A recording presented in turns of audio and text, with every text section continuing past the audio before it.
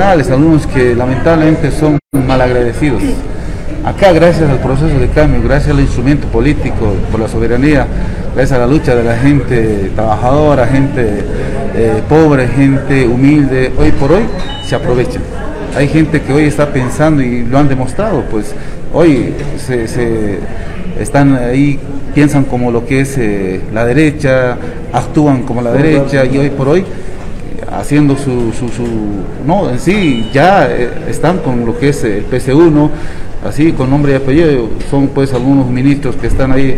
eh, rodeando al, presidente y el presidente involucrado en esto. Lamentablemente desde acá nosotros eh, vamos a ser muy sinceros, no vamos a permitir de que se aprovechen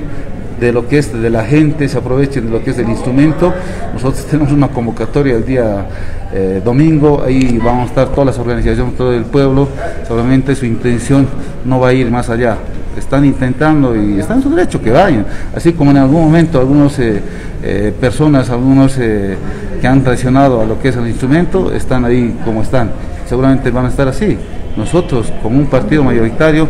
vamos a seguir y vamos a, vamos a continuar con lo que es nuestra agenda, vamos a continuar con lo que es la transformación de lo que es el país en la parte política, económica y social. Y lo más importante acá, ver, y nosotros hemos identificado quiénes son los traicioneros. así como David Choquebanca, así como algunos ministros que en este momento se han aliado y están ahí confabulando, están ahí con la derecha, por esa razón de que hoy por hoy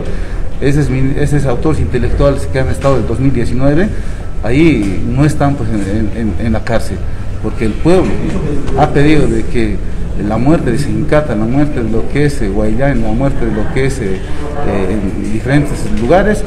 sea pues justiciado. ¿Y quién tenía que ser? Tenía que ser el ministro de Justicia, el ministro de Gobierno, el presidente. Y estamos ah, entrando al tercer año,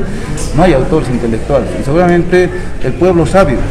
en algún momento van a tener que cobrar las facturas y tienen que responder al pueblo boliviano de que ellos tenían que estar en la cárcel hoy por hoy, más al contrario, están queriendo velar intereses personales particulares, ahí queriendo estar con, un partido, lo que es el, el 1 Lamentamos mucho, acá no hemos venido a estar buscando interés, más al contrario, hemos venido a trabajar en función siempre de los intereses comunes colectivos del país.